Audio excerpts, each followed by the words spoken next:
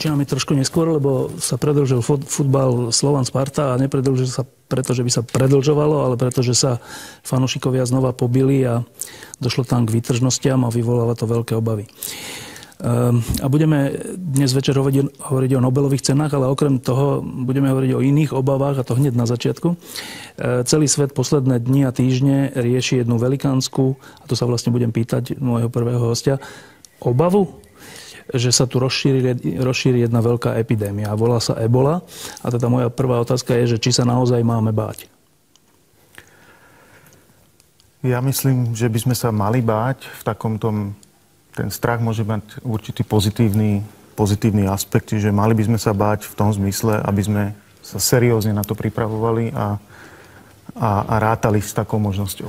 Preto sa to pýtam, lebo my sme tu už pred pár rokmi mali takú veľkú diskusiu o vtáčej chrípke, kde tu boli aj naši epidemiológovia a ďalší ľudia zaujímaví. A e, tak trocha som si zapamätal, že niekedy to býva s týmito obávami tak, že je to troška také, taký marketing alebo také umelo šírené, lebo Napríklad tá vtáčia chrípka je vlastne normálna chrípka, len sa nejak ináč e, volá a není to také, že by sme sa mali, sme sa mali báť, že polka Európy vymrie.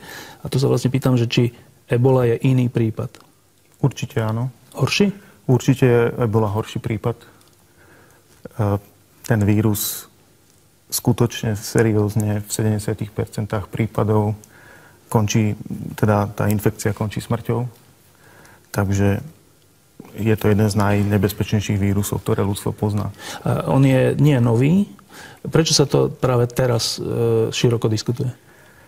No, ten vírus ľudstvo pozná od roku 1976, kedy, kedy prišlo k tým vôbec prvým epidémiám.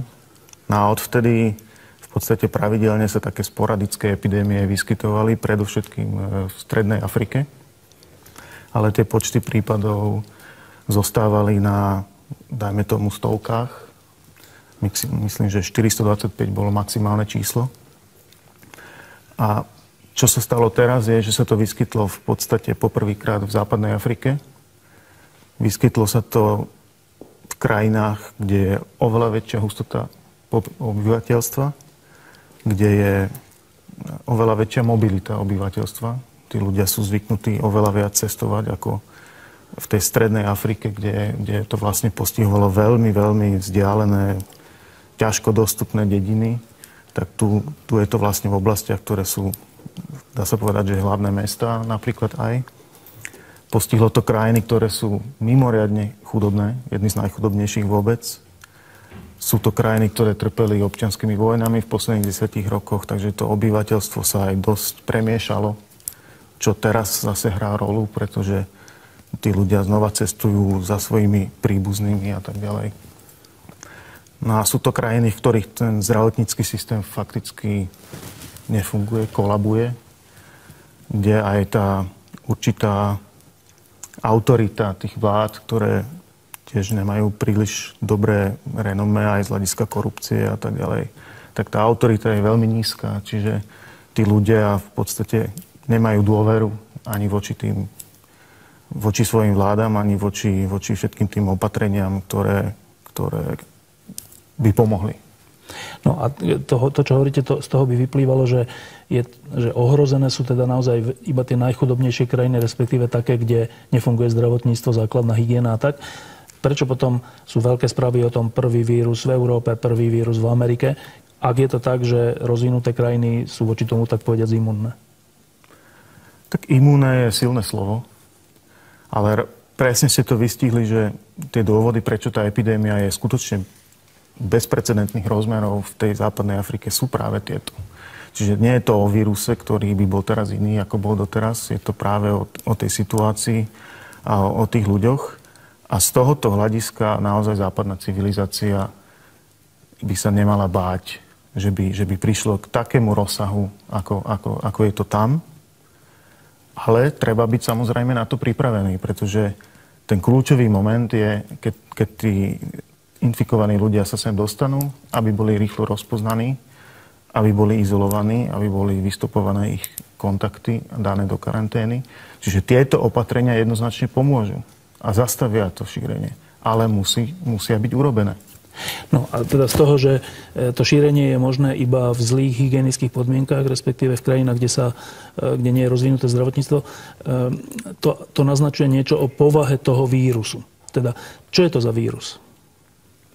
No to šírenie je, k tomu šíreniu prichádza priamým kontaktom s telesnými tekutinami chorého človeka. To znamená, z tohoto pohľadu nie je rozdiel, či je to Afrika alebo je to Európa keď raz prídem do kontaktu s krvou alebo so zvrátkami, s, so stolicou takéhoto človeka. Tak... Je to aj kýchaním ako pri chrípke? No toto je veľmi horúca téma, veľmi diskutovaná aj v odbornej verejnosti, že, že či sa tento vírus prenáša vzduchom. A je to aj o tej definícii, čo je prenos vzduchom. Keď to bereme z toho pohľadu, že pri tom kýchnutí, keď kýchnem priamo na vás, tak tie, tie drobné kvapôčky slín, keď sa dostanú priamo na vašu sliznicu, tak vlastne k tomu, tomu prenosu môže prísť. Ale nie je to ten klasický prenos vzduchom ako pri chrípke, kedy tie veľmi jemné e, najmenšie častice toho aerosolu sa dlhodobo vznášajú vlastne vo, v ovzduší a, a, a, a nakazí, nakazí sa, nakazia sa ľudia v miestnosti. A, teda, no a to už sme pri, tej, pri tom samotnom víruse, tu vidím, že to je zrejme on? Áno. Toto je elektronová, teda obraz z elektronovej mikroskopie. Ten vírus je vlastne typický takouto filamentoznou štruktúrou. Vlastne to podľa toho sa aj volajú filovírusy. Ehm, väčšina vírusov má taký skôr povedal by som, gulatý tvár, čiže e, tieto sú trochu iné.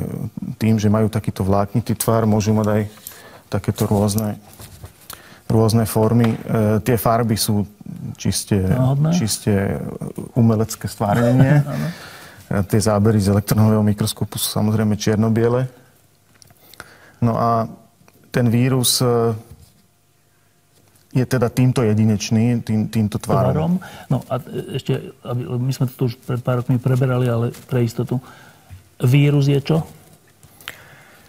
Vírus je, je v podstate taká veľmi, taká úplne najjednoduchšia forma života, dalo by sa povedať. Niečo až, až by som povedal na, na rozhraní medzi životom a chemickou štruktúrou.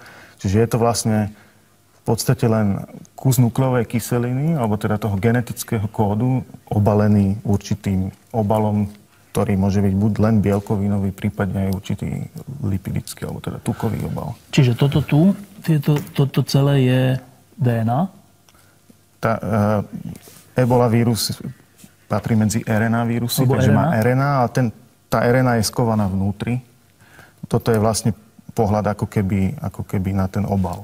A keď, keď, keď môžem tak dopýtať, že toto takto, takto zatočené, respektíve takto skonštruované kúsok RNA sa kde vezme? No ten, ten sa vyprodukuje v tej infikovanej bunke. Ale tá infikovaná bunka už je infikovaná týmto. Áno. Ale tento sa kde vzal? z nejakej predtým infikovanej A bunky. ten? Kde to má začiatok? Z hľadiska človeka? Ako Nie, pri tej epidémii? vírusu. Či ten vírus pri... je proste tu s nami stále? Ten, ten, ten vírus je tu s nami asi od, od, od, od sveta. Fakt? Jedna z teórií vzniku vírusov, že sú to vlastne tie úplne prvé pozostatky toho úplne prvotného sveta s tými najjednoduchšími molekulami, ktoré práve sa predpokladá, že by boli RNA, že boli RNA molekuly. A oni ktoré... sú kde? V zemi, vo vode? Kde sú? Uh, tie pôvodné. Tie pôvodné vo vode, predpokladám. Vo vode v Afrike? Bavíme sa o súčasnosti? Bavíme sa o tomto víruse. Od, tento vírus v súčasnosti v Afrike sa vyskytuje vo svojich prirodzených Prostredia? hostiteľoch a tým sú také veľké netopiere, hovorí sa, hovorí sa im kalone v týchto vlastne vírus v prírode cirkuluje medzi nimi. Dlhodobo, roky, roky. Dlhodobo. A tým, tým netopierom to nevadí? Tým netopierom to nevadí. A raz za čas sa stane, že príde k preskočeniu toho vírusu z tých netopierov na, na človeka. A tak začne tá epidémia. Dobre, a teraz k samotnému tomu pôsobeniu, že ten vírus keď hovoríte preskočí na, na človeka. Čo to znamená? Kam preskočí? To znamená, že ten prvý človek sa dokáže, že sa infikuje. Ale e, teda, do akej bunky sa on dostane, alebo kam? No ten, ten vírus sa musí dostať na sliznice, takže do tela preniká cez, cez naše sliznice a in, ako prvé infikuje vlastne tie, tie prvotné bunky imunitného systému, ako sú napríklad dendritické bunky, makrofágy, To kde? ktoré, ktoré, už, ktoré sú na tých slizniciach a ktoré vlastne následne prech- odchádzajú do, migrujú do lymfatických uzlín a vlastne tým berú zo sebou aj ten vírus a, a, a ten sa ďalej šíri v telo. V A ten, ten e, vírus teda putuje telom a rozmnožuje sa? Áno. Veľmi? To je tá Áno, choroba? Áno. A, a čo teda postihuje? No ten, ten vírus vlastne v tej, v tej prvej fáze je schopný potlačiť e, tú našu vrodenú imunitu, ktorú máme proti, proti e, vírusom. Tomu umožní sa masívne rozmnožiť. A v tej ďalšej fáze, keď už imunitný systém začne ho roz, rozlišovať, začne voči nemu bojovať, tak v tej fáze už je v podstate neskoro Lebo už je ho príliš veľa? lebo už je ho ve- príliš veľa a vlastne ten imunitný systém sa stáva nefunkčný, pretože tá, tá reakcia je až nadmerná, prichádza k poškodovaniu našich vlastných e, napríklad stieň, stien e, žíl.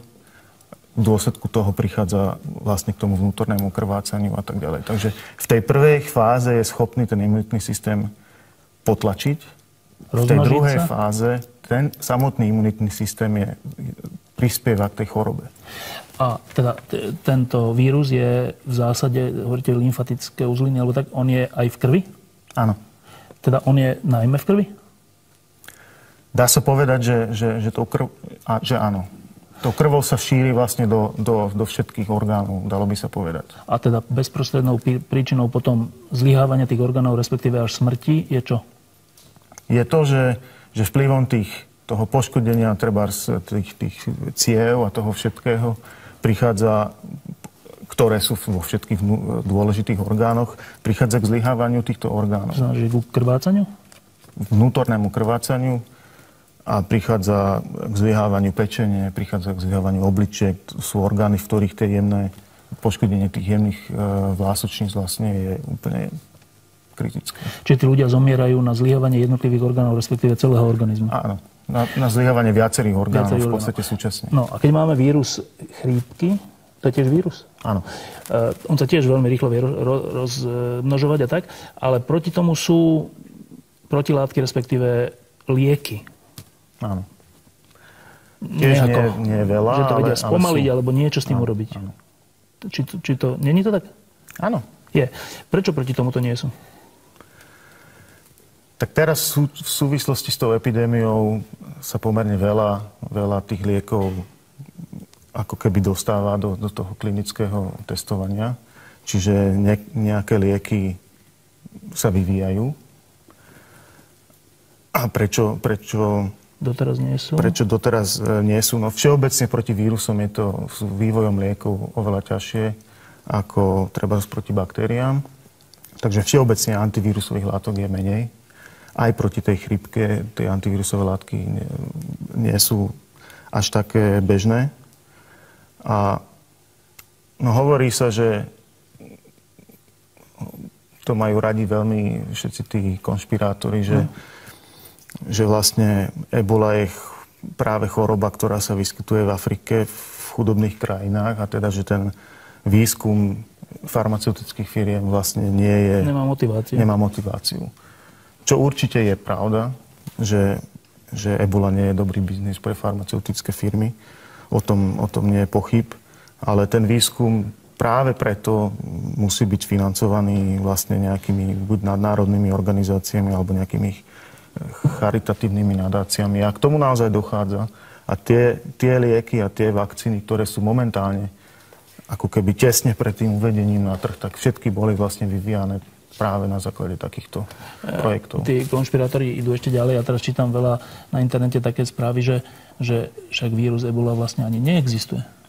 Že to je všetko vymyslené na to práve, že aby sa vyvíjali tie lieky a vlády to platili.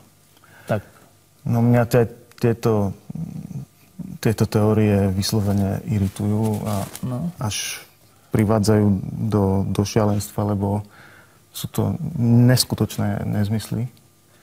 A... Sledujete to ale, plný internet. Áno, áno. Sledujem vlastne teraz v súvislosti s ebolou som sa ocitol na takej mediálnej vlne trochu, no. takže dávam rozhovory, do, dával som do viacerých no.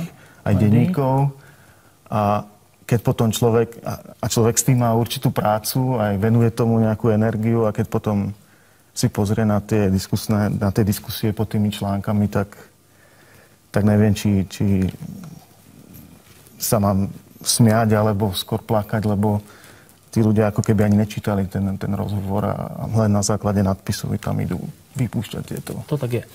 Um, ešte tu máte nejaké ďalšie obrázky? Mám tu obrázky. Toto je napríklad obrázok, ktorý ma mimoriadne dostal minulý týždeň, keď som bol na, na konferencii v Berlíne o, o takýchto zoonotických chorobách. To je vlastne záber, kde mňa ako otca dvoj až štvoročného chlapca, chlapcov teda, keď som si uvedomil, že čo v tom chlapcovi musí prebiehať, keď ho takýto zamaskovaný. vlastne zamaskovaní, zaskafandrovaní ľudia odvádzajú preč od, od svojich rodičov, dajme tomu. Čiže tá situácia v tej západnej Afrike to je skutočne absolútna humanitárna katastrofa a, a tá situácia je zúfalá a a tí ľudia e, z tých organizácií, ako sú Lekári bez hraníc, si skutočne zaslúžia veľkú, veľký, veľký, úctu? veľkú úctu za to, čo, čo tam robia, pretože tá práca v tých podmienkach, v takýchto skafandroch e, je, je veľmi náročná aj fyzicky, aj psychicky. Ďalší obrázok. Toto je vlastne len taký prehľad toho, že kde sa, kde sa tie epidémie doteraz vyskytovali, čiže väčšina z nich bola práve v, v tej centrálnej Afrike. A, a tie tri postihnuté krajiny vidíme tu. Celkom zaujímavá vec je, že napríklad prišlo k zaneseniu vírusu aj do Nigérie, ktorá je už predsa trochu ekonomicky vyspelejšia v rámci toho regiónu západnej Afriky. A tam sa práve veľmi dôsledným dodržiavaním tých, tých izolačných a, a karanténnych opatrení vlastne podarilo to šírenie zastaviť, takže momentálne je považovaná vlastne za, za krajinu, v ktorej tá, tá, tá epidémia bola ukončená. Čiže iba jednou vetou, že e, toto je Afrika, kde je ten gro toho výskytu a tie iné, iné svetadiely, alebo tak, to, je, to sú jednotlivci. Áno, to sú vždy vlastne ľudia, ktorí sa na, nakazili nakazili v Afrike Dobre. a boli, boli nejakým spôsobom sa dostali, dostali ďalej. Toto je len na ukážku, ako, ako je organizované takéto e, izolačné centrum mm-hmm. v, tých, v tej Afrike.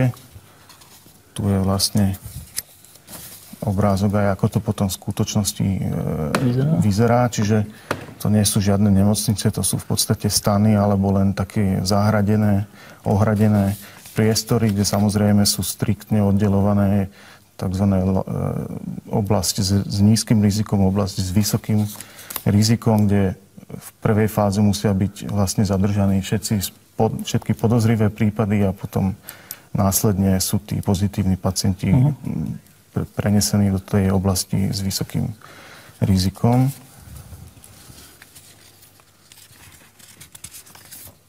Toto je vlastne ukážka aké, aké tie prostriedky tí ľudia musia, musia používať. A toto je e, proces vlastne po skončení práce, kedy ten človek by sa mal akože odstrojiť. A toto je práve tá situácia, pri ktorej naj, najčastejšie dochádza k infekcii toho zdravotníckého personálu, pretože tí ľudia sú mimoriadne fyzicky a psychicky na, uh, unavení a a stačí banálna chyba v tých obrovských horúčavách, keď už má človek treba z dole tú masku a tie okuliare, tak to nutkanie si utrie ten pot, ktorý ide do očí mm-hmm. napríklad, je, je naozaj veľmi veľký a toto je veľmi riskantná situácia a práve preto vždy to musí byť druhý človek, ktorý tomu, tomu človeku pomáha. No a toto je samozrejme tiež na ukážku toho, aké, Pochovávanie? Áno, pochovávanie. Viete si predstaviť, že pre tých miestnych ľudí ten akt pohrebu za takýchto podmienok nie je asi mm-hmm. to, jak by sme si predstavovali mm-hmm. rozlučku so svojimi blízkymi. Mm-hmm. Takže tá, tá situácia e, v tej západnej Afrike je naozaj zúfalá a tá, tá epidémia stále rastie. No a teraz, čo sa týka nás, posledné dve otázky. Tak, e, čo sú tie správy, ale aj v tých západných médiách je, že prvý tam v New Yorku alebo kde v Washingtone v tej nemocnici a teraz čo to znamená a teraz, no a človek, keď to pozerá, nie je celkom pozorne, tak nadobudne ten dojem, že aha, tak už je tam prvá a teraz sa to začne šíriť rovnako ako v tej Afrike. To sa týka aj nás v Európe. Už úplne na začiatku ste povedali, že celkom takto nie je. E, zjednoduše povedané, prečo to tak nie je? Prečo sa to tu nemôže tak rozšíriť?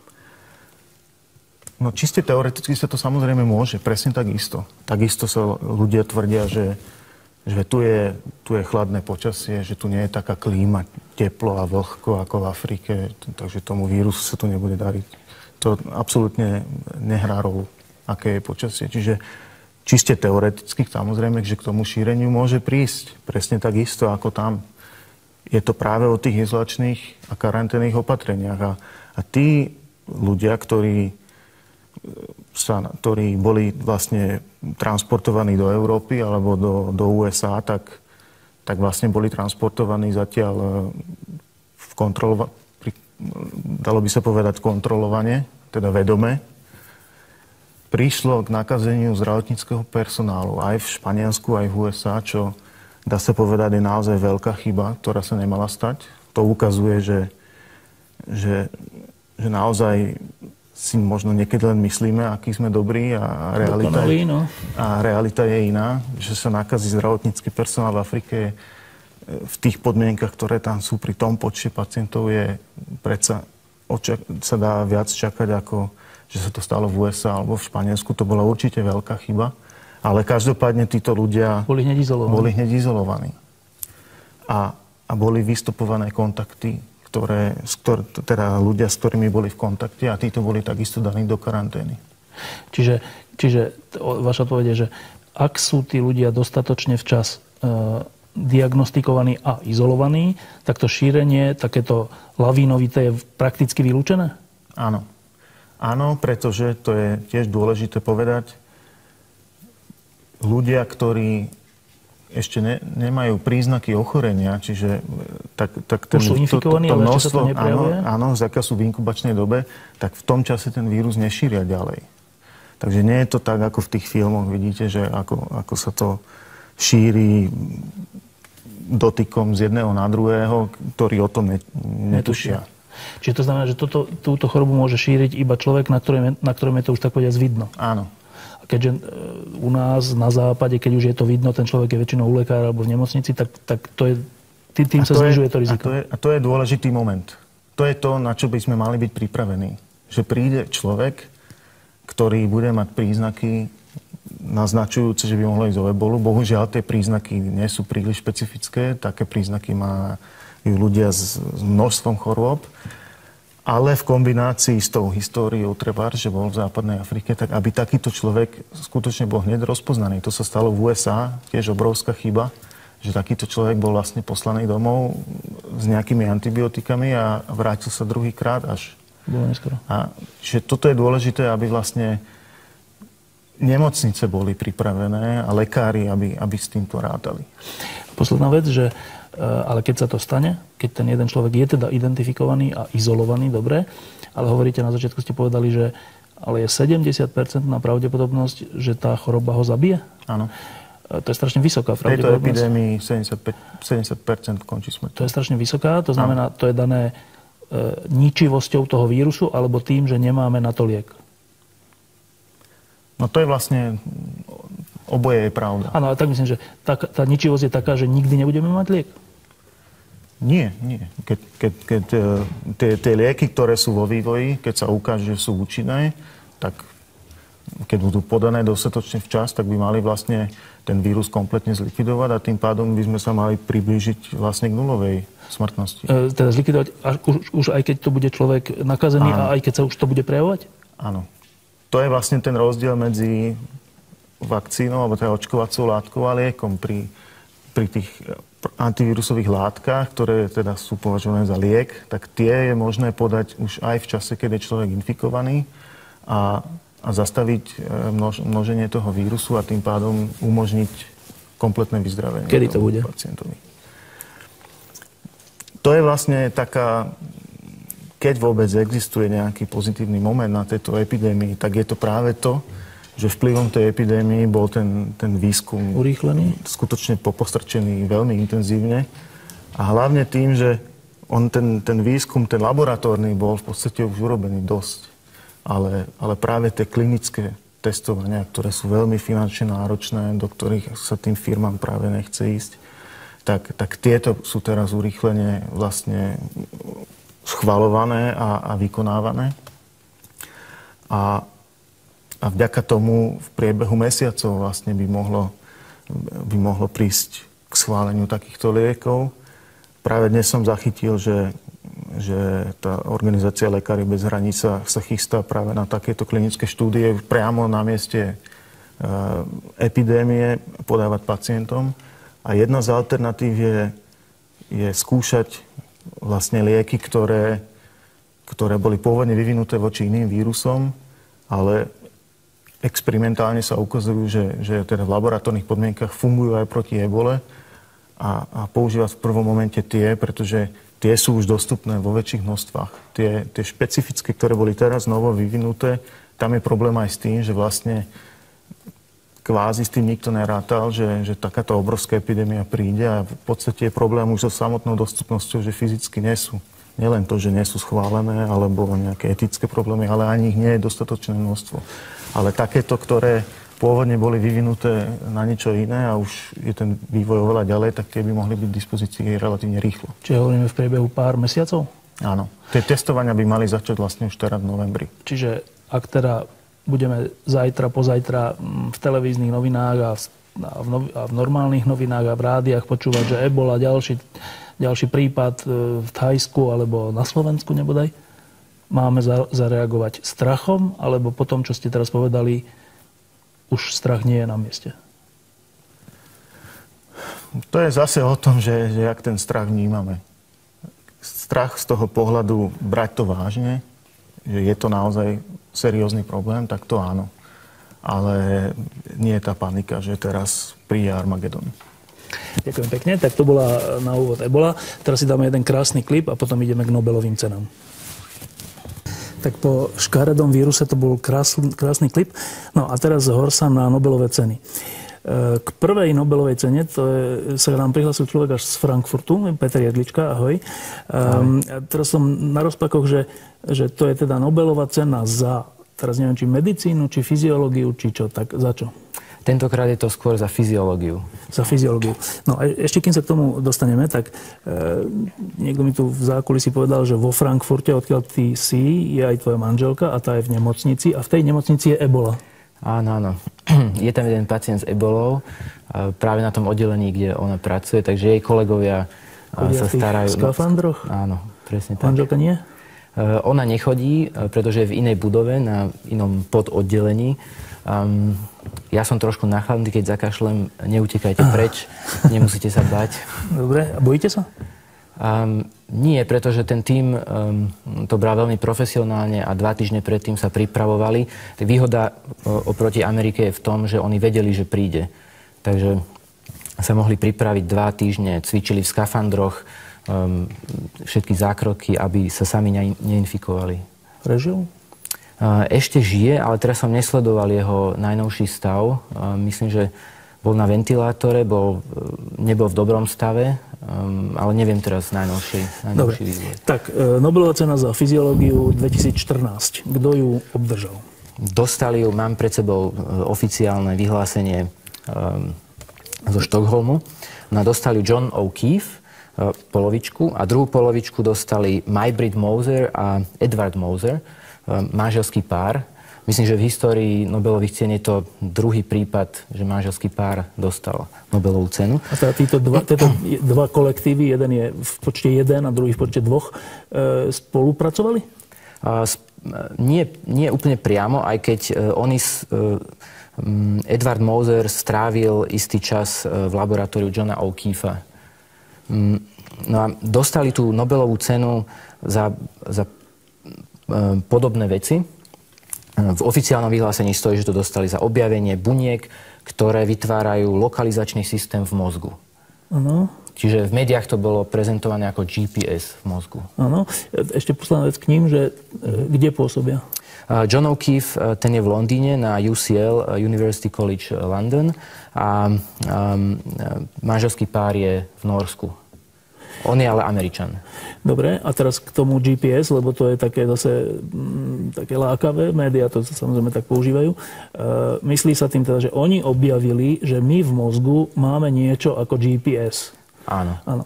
To niečo ako GPS robí čo? To niečo, čo, máme, čo robí GPS, určuje našu polohu v priestore a pomáha nám navigovať cez priestor. V akom zmysle, že keď idem po tomto štúdiu, tak čo? Tak tie, tie bunky, ktoré oni objavili, k tomu sa dostaneme, ano. sú aktívne, keď sa hýbeš po štúdiu. Prvýkrát, povedzme? Tá bunka, ktorú objavil John O'Keefe, tá je, tá je aktívna uh, práve tam, uh, kde, keď, som kde, kde si a keď iná bunka, keď sa pohneš do stredu štúdia, tak iná bunka začne byť aktívna tam, keď, keď si v strede štúdia. Dobre, a na čo to je dobré? Na to, aby si vedel, kde si. A to vidím. No a presne to je, to je um, to je vtip toho objavu, že to nie je také jednoduché, že to, to nie sú bunky, ktoré dostávajú priamu informáciu zo zmyslových orgánov, uh, pretože ty vieš trafiť uh, do stredu štúdia alebo aj von zo štúdia, aj, aj keď zavrieš oči. Áno, mám to skúsiť? Um, no, lepšie bolo, keby že tu zostane. No, prečo si myslíš, že by som trafil? Um, pretože... Kvôli preto, tomuto objavu? Tak, nie, aj kvôli tomu objavu, ale to je aj naša vlastná skúsenosť, že keď sme niekde aj v neznámom prostredí, v hoteli a je tma a chceme ísť do kúpeľne, tak e, trafíme do tej kúpeľne aj, aj keď nevidíme dobre. Lebo ale predtým, a nie je to preto, lebo máme v pamäti to, že sme to predtým videli? Je to, je to súvisí to s tým, čiže vieme si aj zapamätávať informáciu no, o priestore, ale? Um, ale vieme ju vyvolávať aj, aj vie, tá, tá informácia sa ukladá v ta, takým spôsobom, že máme akoby vnútornú mapu prostredia, a tá vnútorná mapa nemusí mať stále, nemusí byť stále obnovovaná zmyslovými vnemami.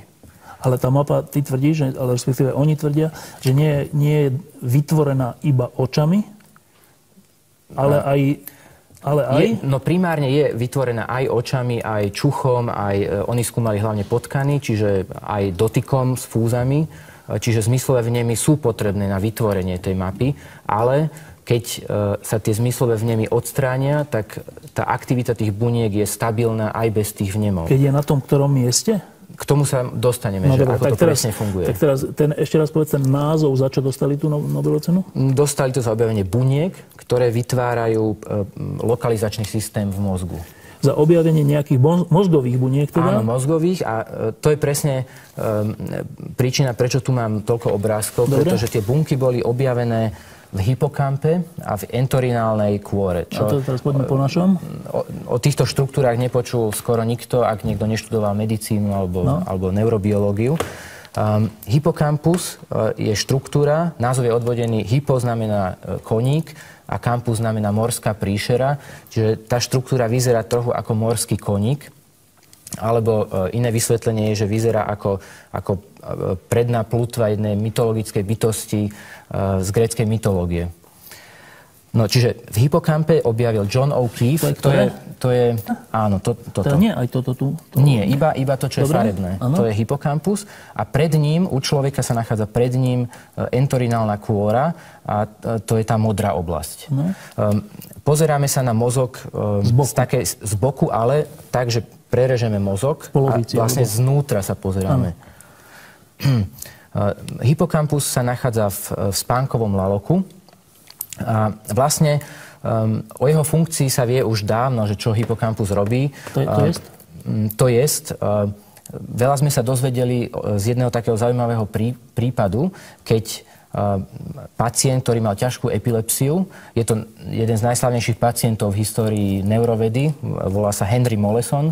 Predtým, ako už zomrel, predtým, keď žil, tak sme ho poznali ako HM, iba jeho iniciálky. No a on mal ťažkú epilepsiu a neurochirurg William Scoville mu odstránil hypokampus a prilahlé štruktúry na oboch stranách mozgu. Celé? Um, toto, čo to vidíme, oranžové celé. to oranžové aj plus ešte s okolitými štruktúrami, uh-huh. takže trošku viac, na oboch stranách mozgu.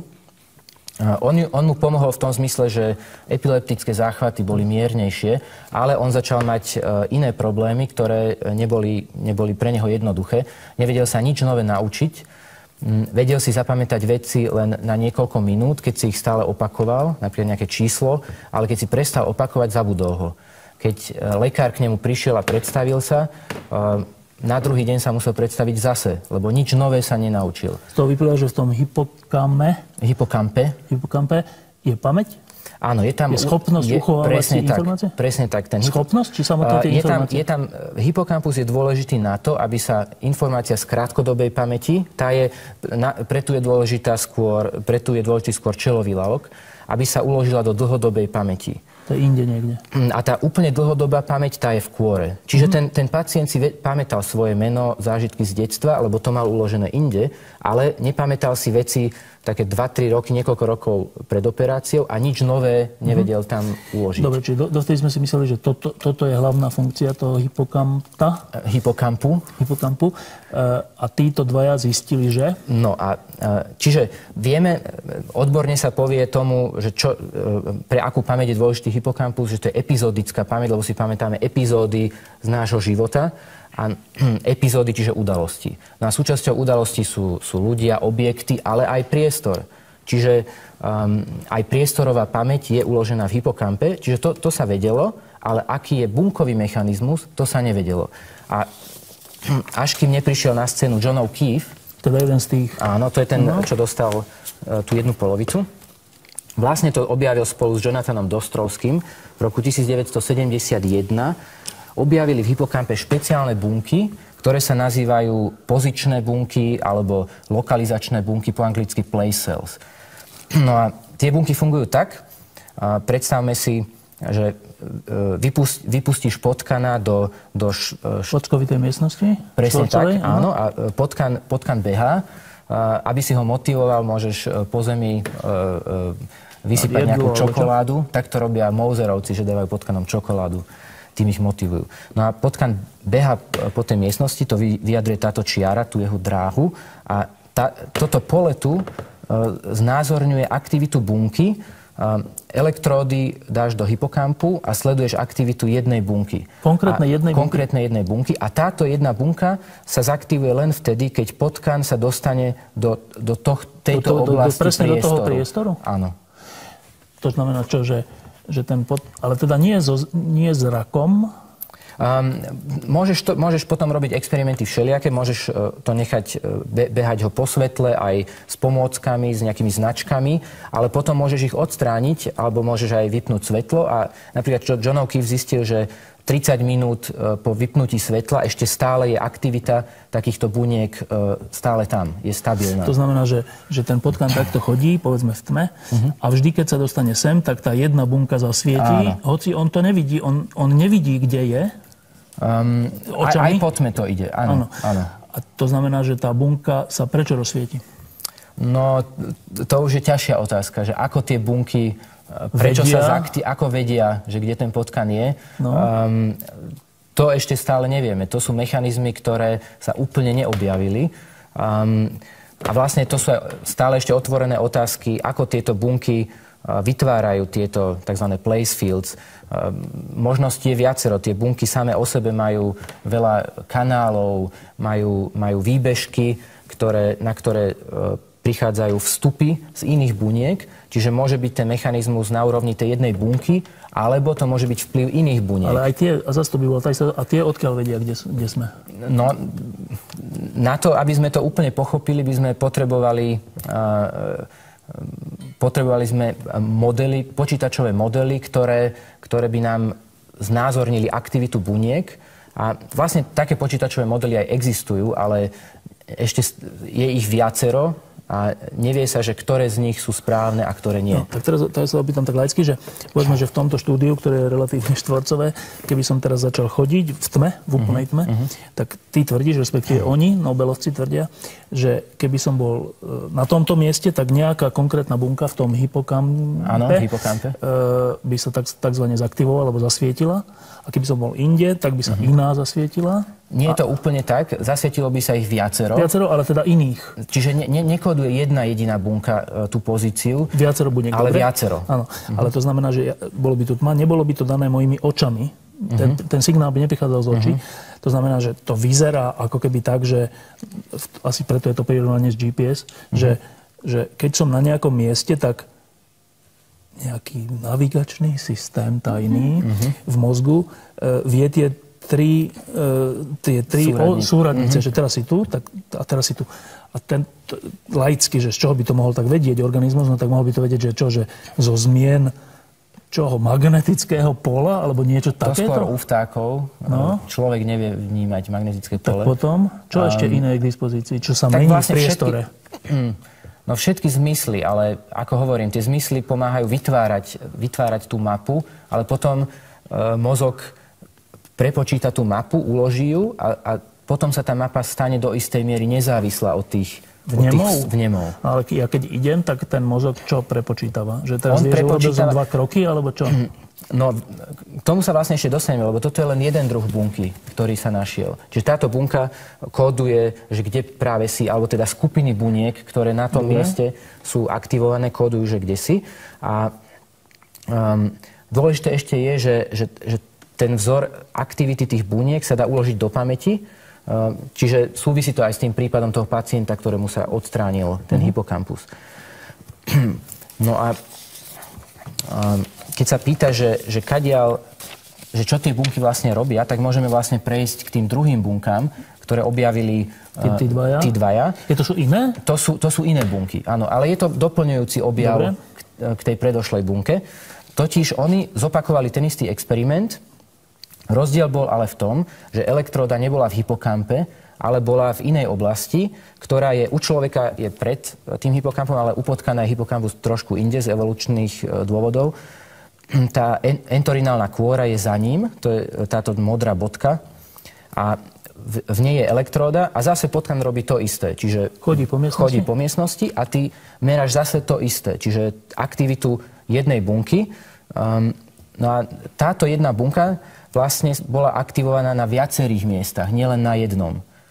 Čiže sa vytvo, vytvorí sa veľmi zaujímavý vzor aktivity, keď, keď to zmapujeme na priestor, e, po ktorom beha potkan. Takýto takýto pravidelný? Presne. A to, to, to je aj e, také fascinujúce na tom ich objave, že oni hľadali e, bunky, ktoré pomáhajú vnímať priestor a zrazu objavili takýto krásny geometrický útvar. Tri, troška iné, posunuté tri, tri. Presne reálne tak. takto? Reálne takto, trojuholníky. E, alebo keď ich zložíme, tak má to šesťuholníkový tvar. Uh-huh. No a dalo by sa povedať, že, že týmto spôsobom môž, dokáže mozog kódovať aj vzdialenosti ktoré ten potkan prejde. Medzi týmto a týmto áno, a tak ďalej? Áno, presne Počkaj, tak. a teraz to znamená, že toto je, ale to sú iné bunky. Toto je jedna bunka. Ale iná. Ale iná. a iná a v inej oblasti a v inej oblasti. A v inej oblasti. Áno. A obidva procesy prebiehajú naraz? Tá prvá? A prebiehajú naraz, áno. Čo, oni sa doplňajú? Presne tak. A tak vlastne oni aj na to prišli, že E, rozmýšľali, v hypokampe robili, e, všel, snažili sa poškodiť e, niektoré spojenia v tom hypokampe a stále tam bola tá aktivita. Z toho usúdili, že niekde inde musí byť ešte iná aktivita, ktorá tiež vie spracovávať priestorové informácie. No a hlavný vstup do hypokampu predstavuje práve táto entorinálna kôra. Preto tam išli to hľadať, ale aj iní hľadali, nenašli, pretože nehľadali na správnom mieste. Oni hľada, hľadali v tej časti, ktorá je viacej k stredu mozgu a je viacej vzadu, takže je horšie prístupná. No ale našli to, čo hľadali, no, našli tento krásny A teraz vzor. tieto dva objavy nám teda hovoria zjednodušene čo? Že máme na dvoch miestach mozgu rôzne bunky, uh-huh. ktoré majú niečo, niečo dočinenia s tým, že keď takto ideme po priestore, tak vieme sa v ňom orientovať, aj keby sme zavreli oči. Presne povedzme. tak, presne tak. Dobre, a keby sme tie bunky nemali, tak by sme... Tak by sme mali problémy s orientáciou. Čo by bolo iné? Um, no, nevedeli by sme sa orientovať. A e, príklad, teda príkladom... S očami vedeli? Mm, s očami vedeli, áno, s očami by sme sa asi vedeli lepšie a bez očí, alebo aj s použitím pamäti, lebo ako som povedal, tie bunky kódu nie len, nie len v reálnom čase, ale ukladajú aj vzorce um, priestoru do pamäti. Takže ich môžeme vyvolať znova. A um, tieto, práve tieto oblasti mozgu bývajú aj prvé oblasti, ktoré sú postihnuté pri Alzheimerovej chorobe. A tí pacienti majú často problémy s orientáciou, stratia sa, pretože nevedia vyvolať pretože majú narušené aj tieto bunky, aj keď priamo to nebolo ešte ukázané. E, ešte, ešte teraz ma napadlo, že keď, e, ak s očami zdravý človek sa vie pohybovať v priestore, tak čože tieto bunky máme ako keby navyše na to, že keby náhodou sme oslepli? Mm, no máme, máme ich navyše na to, aby sme vedeli um, robiť aj komplexnejšie pohyby a dostať sa z miesta A na miesto, na miesto B ktoré, ktoré, je, ktoré aj, aj nemusíš vidieť. Hej? A e, my, keby sme mali iba, iba, iba tie vnemy...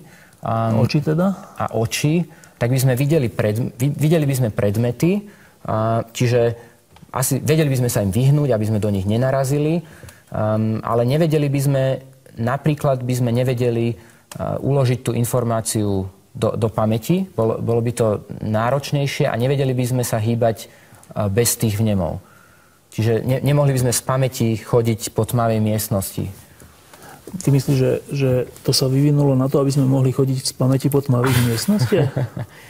um, na, na to, tak e, z časti, z časti áno, pretože... A ako um, kedy naposledy si išiel keď, tmavou miestnosťou? tak e, dosť často chodí človek po byte, aj keď je už tma. Ale keď... úplná, či áno? No tak niekedy aj úplná. Keď nesvieti mesiac, môže byť aj veľmi tma a vie sa človek. Ale môže to byť dôležité z evolučného hľadiska.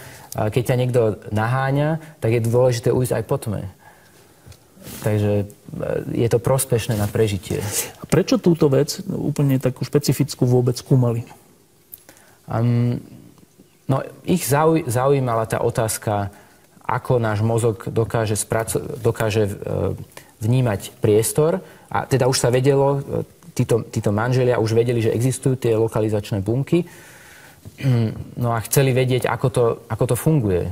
No a čiže zaujímalo ich, ako, ako mozog dokáže vypočítať takú zložitú vec, ako je priestorová orientácia. Čiže to, nie, nie je to je, je dobré, že sme debatovali tak dlho o tých zmyslových vnemoch, lebo, lebo je to naozaj... Vlastne tá Nobelová cena je prelomová preto, pretože je to prvá mentálna funkcia, ktorú dokážeme pochopiť na, na bunkovej úrovni. Lebo predtým boli udelené Nobelové ceny hm, za podobné objavy, ale boli to bunky napríklad e, v primárnej zrakovej kôre, ktorá do, dostáva priame, priame zmyslové informácie. Ale mentálna funkcia vo, v oblastiach kôria, v oblastiach mozgu, ktoré sú hierarchicky vyššie, um, to je prvá funkcia, ktorú dokážeme takto detálne pochopiť, aj keď ne, nechápeme ju úplne, ale predsa len vieme, ktoré bunkové mechanizmy k tomu môžu prispieť. Máš tam, máš tam ešte nejaké dôležité obrázky? A, dôležité... Ešte, ešte čo je zaujímavé, môžem ukázať tento obrázok, že nemáme len tieto dva druhy um, buniek. Tieto už poznáme. Toto je tá lokalizačná bunka v hypokampe, toto je aktivita. Modrá farba znamená e, nízka frekvencia aktivity, červená farba znamená vysoká, čiže táto bunka bola aktivovaná, toto je zase ten štvorcový uh-huh. priestor, táto bola aktivovaná v rohu, v pravom hornom rohu. Toto sú tie mriežkové bunky, tie, tie tiež už poznáme. Ale existujú ešte ďalšie bunky. Napríklad táto bunka, um, tu je znázornené, ako potkan behal, to sú tie čierne čiary. A zelená farba znázorňuje, že kde bola tá bunka aktívna. Vždy ide o jednu bunku. Nevidíme žiaden vzor. Ale keď, keď sa pozrieme na to, že, že kam sa potkan pozeral, keď, keď sa pohyboval, tak táto bunka bola aktívna, keď on sa pozeral na juhovýchod. Čiže to sú tzv. head direction cells, že kódujú orientáciu hlavy. Kde, čiže, čiže nám to pomáha um, pri kódovaní, ktorým smerom sa vydať. No a tá, tento štvrtý typ bunky, to sú také bunky, keď dáme tomu potkanovi do, toho, do tej miestnosti, do toho priestoru prekážku, to je, to je tento Biela. biely flak, tak táto bunka vidíme, že bola aktívna, to je tá červená farba alebo žltá, bola aktívna, keď sa potkan pohyboval po, po severnej stene tejto prekážky. A zaujímavé, že bola aktívna aj keď sa pohyboval po severnej stene, po severnej stene steny. južnej steny. Čiže to sú tzv. boundary cells, ktoré kódujú steny a hranice a tieto teda pomáhajú aj v tom, aby sme nenarazili do niečoho. Čiže ten GPS systém je zložitejší a ešte existujú ďalšie typy buniek, ktoré sme ešte nevyskúmali. Ktoré, ktoré sme aj vyskúmali, ale e, nemáme čas o nich hovoriť. A toto aj ukazuje, že ak, ako tento výskum zelektrizoval celú komunitu vedcov, ktorí sa týmto zaoberajú. Vlastne, keď je nejaká konferencia o hypokampe, polo, polovica príspevkov je len o... Človek vidí len takéto mapy. E, čiže e, je to, veľmi, je to objav, ktorý, ktorý zaujal veľmi veľa ľudí. Ďalší obrázok? To, toto je vlastne príklad, um, čo vlastne tie bunky robia. Um, vedia spočítať cestu. Čiže vieme, e, kde ten potkan je, to robia pozičné bunky, kam sa pozera, ktorým smerom ide, to robia tie, tie head direction cells, tie mm. smerové bunky. Potom tie mriežkové bunky vedia odmerať, koľko prešiel. No a e, hraničné bunky zabránia, aby narazil do niečoho. No a keď ten potkan prejde tadialto sem, um, tak tie bunky vedia zmerať vektory, po ktorých prešiel. To sú tieto šípky. No a keď ich spočítame, tak potkan vie, kde je a vie sa vrátiť aj priamo naspäť. Nemusí ísť potom Nemusí ísť, presne tak. A toto by, takýto zložitý úkon uh, by sa veľmi, neviem si predstaviť, ako by sa to dalo uh, vypo- vypočítať alebo, alebo zrealizovať, zrealizovať len, len jednoduchými stimulmi a reflexmi uh, cez, cez zmyslové orgány a že by boli prepojené rovno na, na svaly. A to je tiež prevratné Johnovi O'Keefeovi eh, nechceli veriť, že niečo také existuje, pretože v tej dobe vládli behavioristi a tí mali predstavu, že mozog funguje ako vstup-výstup, ako jednoduché reflexy. A povedali, však ten potkan má čuch, má dotyk, on nepotrebuje nejaké špeciálne bunky v hypokampe. No ale ukázalo sa, že, že O'Keefe mal pravdu a že tá predstava behavioristov bola značne zjednodušená. Dobre, ďalší.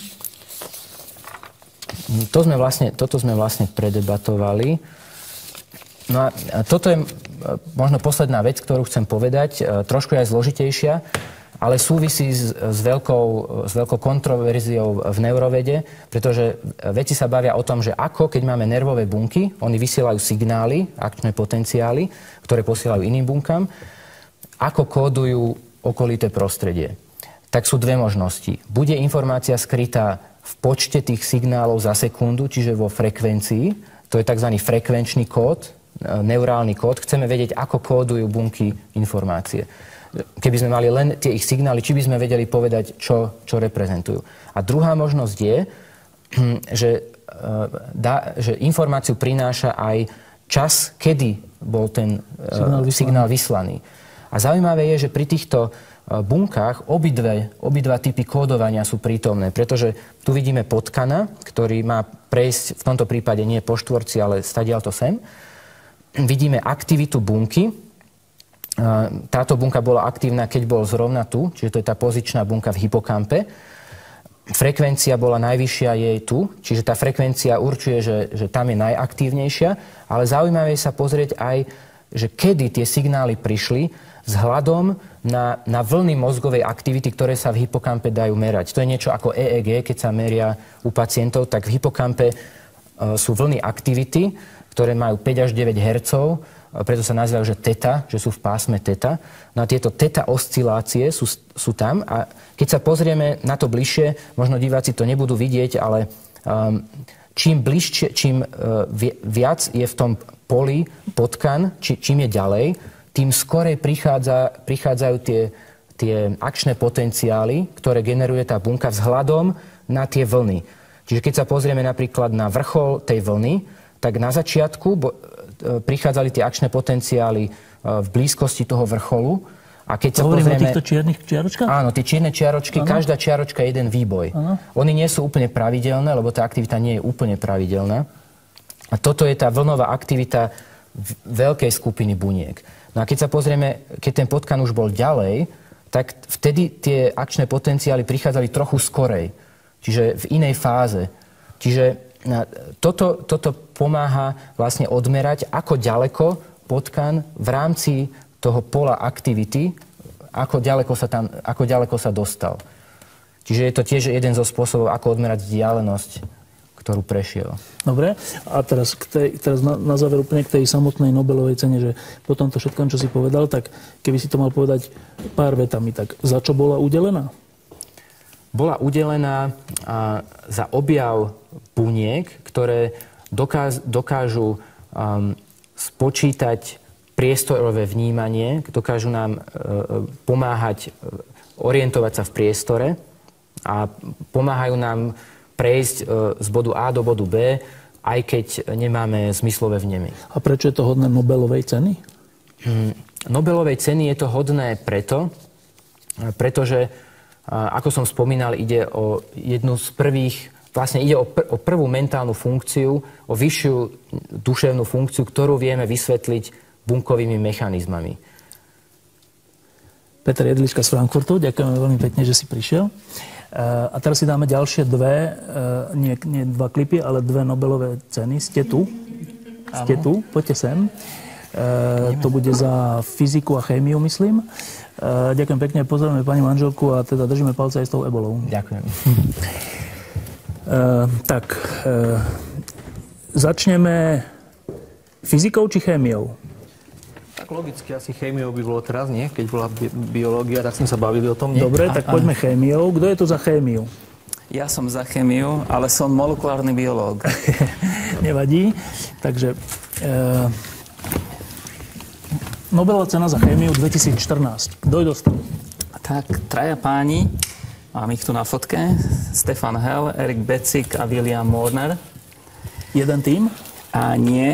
A dokonca dostali to za vyvinutie dvoch metód, rôznych metód, za tým istým účelom. A Hell vyvinul jednu metódu a tí dvaja sa podielali na vyvinutí tej druhej metódy, ale nezávisle. Z jedného laboratória? a nikto nepracoval spolu v laboratóriu. Odkiaľ? Odkiaľ som? A, Hel je z Nemecka, teda pôsobí hlavne v Nemecku, pôsobila aj vo Fínsku a tí dvaja sú Američania, ale z rôznych a, inštitúcií. Dobre, no a teraz podstata tej, toho ich objavu. Dobre, môžem to povedať jednoducho, môžem to povedať zložito. Hej? Najprv jednoducho. Dobre, takže a, najprv ako taký úvod, prečo niečo takého vyvíjali. Čiže vyvinuli, každý myslím pozná mikroskop. Mikroskop je preto mikroskop, že dokážeme vidieť veci na úrovni mikrometra, mikrometrov. Hej? A je to dané na, e, na základe fyzikálneho zákonu, ktorý objavil ešte koncom 19. storočia AB a ktorý povedal, že difrakčný limit, čo môžeme dosiahnuť pri a, teda mikroskopii je 0,2 mikrometra. Difrakčný limit znamená? Čiže to znamená, že dva body rozoznáme, môžeme rozoznať svetelným mikroskopom alebo fluorescenčným mikroskopom len vtedy, keď sú ďalej od seba ako 0,2 mikrometra. Ináč sa nám zlejú do jedného. Ináč sa nám zlejú do jedného. Čiže je tu fyzikálny zákon a oni to vlastne prekonali. Čiže je vzorec na to, že môže to byť tých 0,2 mikrometra. A možno som sa zle vyjadril, že prekonali, oni ho obišli. Kto? Títo traja. Títo nobelisti? Áno, títo nobelisti. Obišli tvrdý fyzikálny zákon? Áno. Ako?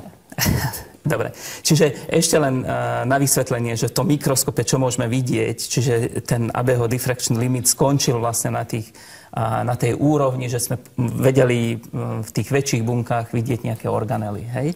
Ale napríklad vírus sme nedokázali vidieť. Čiže kolega, ktorý tu ukazoval, to bola snímka z elektrónneho mikroskopu. Hmm. Tak prečo nepoužijeme teda na malé objekty elektrónny mikroskop? My študujeme živé organizmy a my chceme vidieť do nich v rámci toho, keď ešte žijú. Hej? A napríklad prípade baktérií alebo aj rôznych organel. Lebo to je prirodzený stav, čiže my študujeme vlastne ako proteíny, kde sa nachádzajú priamo v bunke. Dobre, ako to obišli?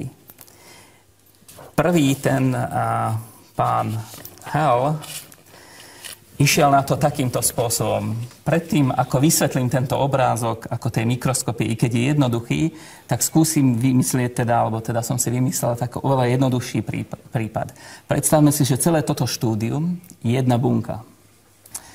A dokážeme tú bunku vidieť, e, keby tu bola hore e, sklenená stena a pán Hel sa na nás pozerá, Hel ako peklo, ale pozerá sa mm. na nás z neba teda, z hora z takých 100 metrov ďalekohľadom.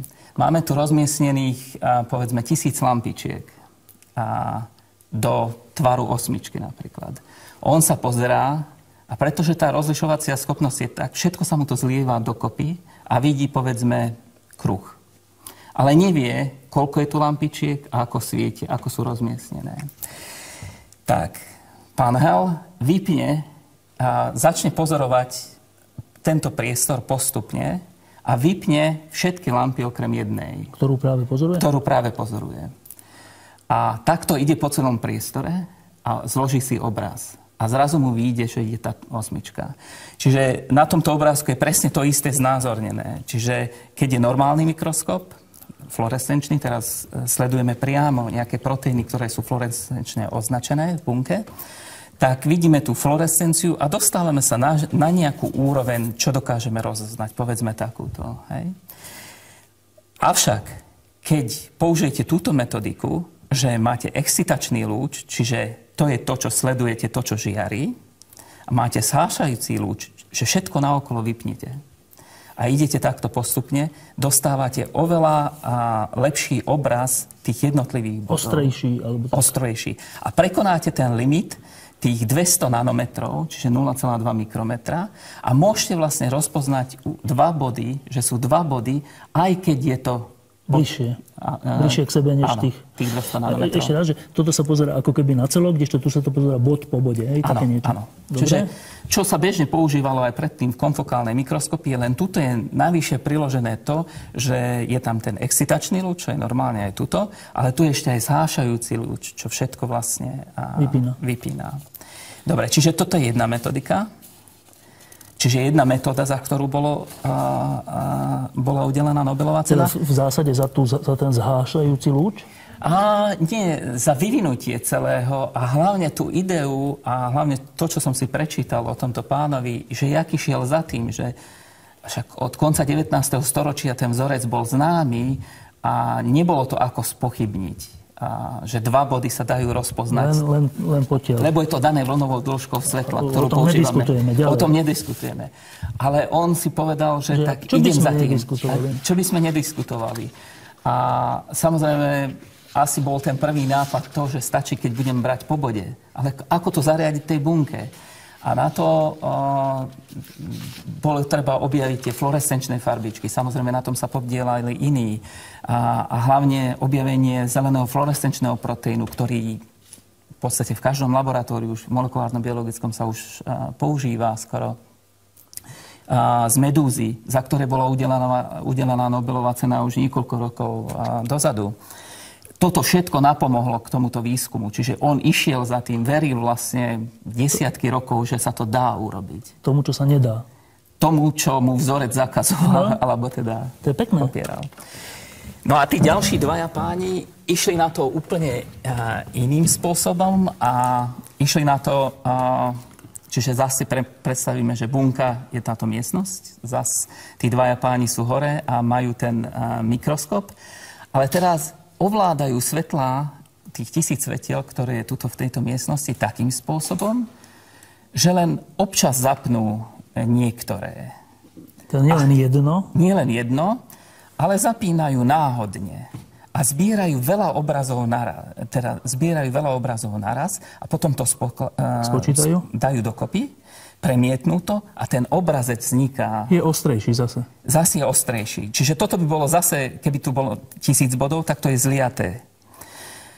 Detegujú 10-20, ktoré sú každé viacej ako tých 0,2 mikrometra od seba.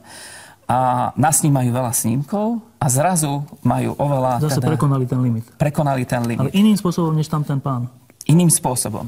Čiže veľmi zjednodušene. Ten všetko zhasil, uh, zhasil okolo. jednu nechal zažnutú? A títo zase vlastne... Nechali zažnutých 10. Náhodne zapínali. Uh, Zopár. Áno. A to je charakter toho proteínu, ktorý použili. A pri veľkom malom ožiarení sa stáva, že len niektoré sa aktivujú ale potom znova sa už neaktivujú. A zase ďalšie sa aktivujú z toho kopca, z, z tej ďalšej časti. Čiže keby, si, keby sme sa pozreli povedzme na takú štruktúru ako lizozom, to je čo? A, nejaká organela a to bunke. to je nejaká časť, časť vnútra. Bunke, bunke, časť bunke. Ako, no. a, takže toto nasnímali a pri tom väčšom zväčšení, keď už vidíte, toto je tá čiara pre tých 0,2 mikrometra, už tam dokážete vložiť veľa bodov, čo tuto nemáte šancu. Uh-huh. Tu sa vám to zlieva. Možno tuto od kolegu fyzika som dostal ďalší obrázok. Čiže takto by to vyzeralo v tom klasickom fluorescenčnom mikroskope. A takto to vyzerá už tam... Týmto lepším. Áno. Čiže mikroskopiu vlastne dali na nanoskopiu. Keď to môžeme tak Čiže to je vlastne tá Nobelová cena? Áno, za tieto v podstate za obínenie toho fyzikálneho vzorca. A teda úplne laicky povedané za zlepšenie mikroskopu? Za mm, vytvorenie nanoskopu. Tak? Áno? tak, áno. Čo, čo by zákony nedovolovali? Čo by zákony nedovolovali. Je zaujímavé samozrejme, že dostali to za chémiu, obišli fyzikálny zákon a používame to my v molekulárnej alebo bunkovej biológii. Hej. A či mi povedzte, že aké je toho využitie? A, nesmierne. Čiže toto tá prvá metóda bola prvýkrát ako uverejnená mm, okolo roku 2000 a tá druhá okolo roku 2006 a stále sa vylepšujú. My už uh, priamo toto ani nepoužívame, už sú ďalšie metodiky a nepriame metodiky vychádzajúce aj z tohto sa dostávame už vyloženie na, namet, na priamo 1 nanometer. A teda to využitie? A, čiže, jak som na začiatku povedal, priamo môžete sledovať procesy tých proteínov v bunke, kde sa pohybujú, s kým sa spárujú, s akými ďalšími proteínmi v živej bunke.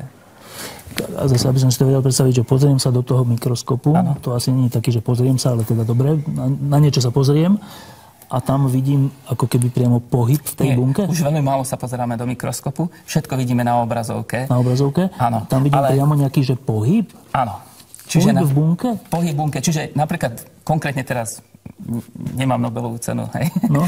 A, ale robíme na bunkovom delení v baktérii. A baktéria je, povedzme, v tom priemere okolo pol mikrometra. A nemám, teda mám video, ale a, ťažšie sa to nasníma.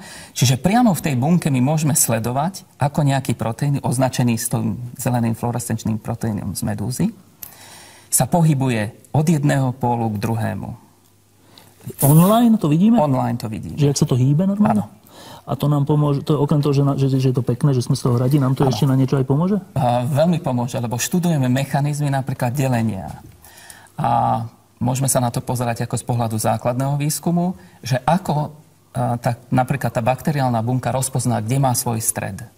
Čiže toto, čo osciluje od jedného pólu k druhému, je vlastne inhibitor delenia. A keď rozkývate kývadlo, tak najväčšia pravdepodobnosť, že nájdete tú guličku, čo je inhibítor, na póloch. A tam neprichádza k deleniu a prichádza presne v strede.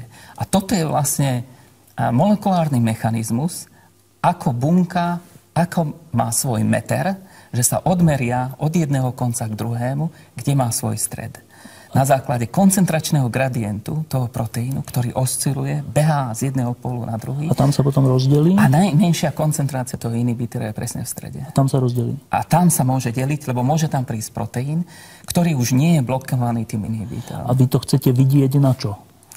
A najprv, aby sme vedeli, čiže len taká základná otázka, ale samozrejme um, a pán Hal použil vlastne tú svoju mikroskopiu na tiež bakteriálnych bunkách prvých, ale teraz sa používa samozrejme v medicíne alebo v medicínskom výskume na detegovanie, kde sú jednotlivé tieto proteíny, ako sa pohybujú, aby sme objasnili mechanizmy napríklad aj Alzheimerovej choroby, na mnoho rôznych vecí. V našom prípade pochopiť delenie baktérií a mechanizmu a, malo by umožňovať vyvíjať nové a, antibiotika alebo nové látky, ktoré zabra, zabránia deleniu patogénnych baktérií, mm-hmm. proti ktorých chceme bojovať. Viac ste povedali, že tá fluorescenčná vec je z nejakej medúzy? Áno, áno. To mi, prečo práve z medúzy? A, lebo medúzy, vzhľadom na to asi, kde žijú v tom prostredí a nie som biolog týmto smerom, ale pravdepodobne ako v tých hlbokých moriach, ako toho svetla je málo, takže musia nejak ako komunikovať. Asi je to aj nejaká atrakcia pre, tých, pre tie... Medúzice? Medúzice, povedzme. Takže dokážu, teda majú te, tento proteín, ktorý dokážeme preniesť teda do hocakého organizmu. Čiže to sa reálne z medúzy zoberie a, a používa v laboratóriách? Um, zoberieme gén. Čiže nerobíme s tým proteínom najprv, zoberieme gén a gén spojíme s našim génom pre náš proteín. A tieto dva proteíny budú spolu. Už ich nedokážete oddeliť v tej bunke. Čiže to je ako lampička, ktorú zavesíte na svoj proteín a tým pádom môžete sledovať svoj proteín. A, a to tam potrebujete, aby to svetlo tam vyžarovalo? Aby to áno, áno, áno, aby sme videli dovnútra tej bunky. To by ten samotný to... mikroskop ne, nevidel takzvané? A... Bez toho fluorescenčného zeleného? Nevidel. To nedokážeme vidieť, lebo vidíme tie, keď sa pozrieme normálnym svetlom, tak vidíme len povrch tej, Dobre, tej bunky vlastne. Tej bunky. Tej, tejto... Čiže napríklad aj kolega, čo ukazoval z elektronnom mikroskopu, tak nevidel donútra. Pýtali ste sa na to RNA, nevidel donútra, ale môžeme vidieť. Hej. Uh-huh. Keby sa to označilo, ale muselo by sa urobiť táto mikroskopia. Hej. Ešte máte nejaký obrázok k tomu? A, a myslím si, že už ani veľmi nie. Tak e, ešte raz povedzte, tak ako aj predtým kolega, že, že táto Nobelová cena bola udelená za čo?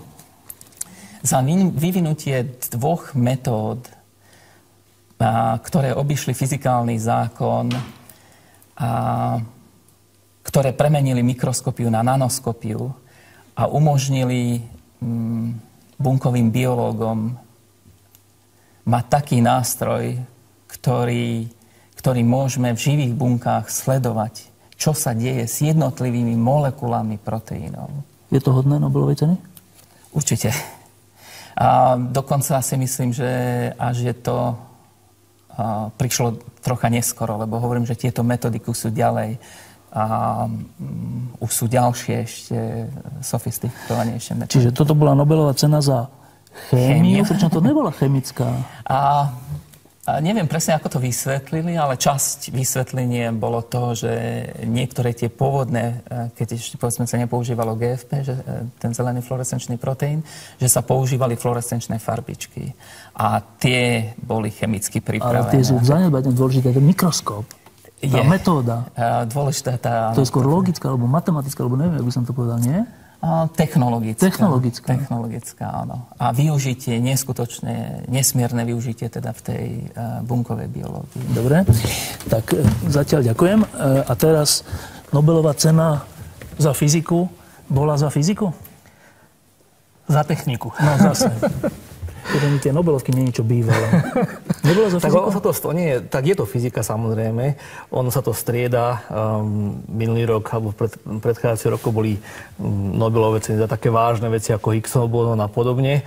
Um, možno si pamätáme ešte pred niekoľkými rokmi, že bola udelená Nobelová cena za uh, objavy spojené s vývojom optických vlákien a CCD uh, snímačov, ktoré máme vo fotoaparátoch. Na tohto roku zase došla doba a tak, e, tým smerom, že Nobelová cena bola udelená za vývoj modrosvietiacich LED diód, ktoré um, za to, že to, keď Nobelová cena bola asi preto, lebo to nebolo ľahké, takže bola ocenená námaha a množstvo výskumov, ktoré s tým boli spojené a hlavne s množstvom aplikácií, ktoré no, tieto diódy majú. Vedieť, že Nobelová, e, nejaké, nejaké zelené diódy už máme, nie?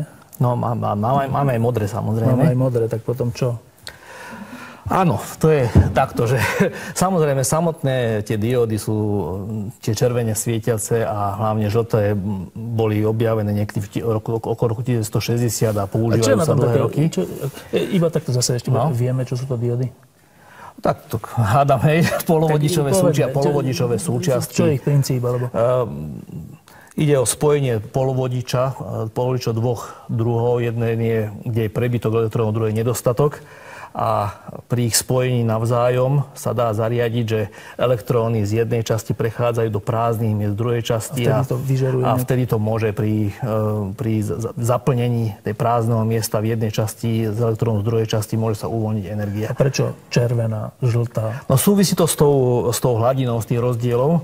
E, čím väčšiu energiu e, sa, či, či väčšia energia sa získa pri tom padnutí z jednej časti poloviča do druhej, tak tým má aj to svetlo, ktorá sa vyžiari, má väčšiu energiu. Čiže červené Čiže je... červené je najmenej energetické, um, zelené je viac energetické, modré ešte viacej, potom ultrafialové a ultrafialové svetlo už môže mať takú energiu, že môže vyvolať chemické reakcie, aj neželané v bunkách a teda môžu byť ako, no. aj zdrav, môže byť aj zdravú škodu. No a teda, že, vlastne. že modro svietiace diódy, tak Nobelová cena bola preto daná, nejak to súvisí aj s tým, že, sú to, že je to najvyššia energia?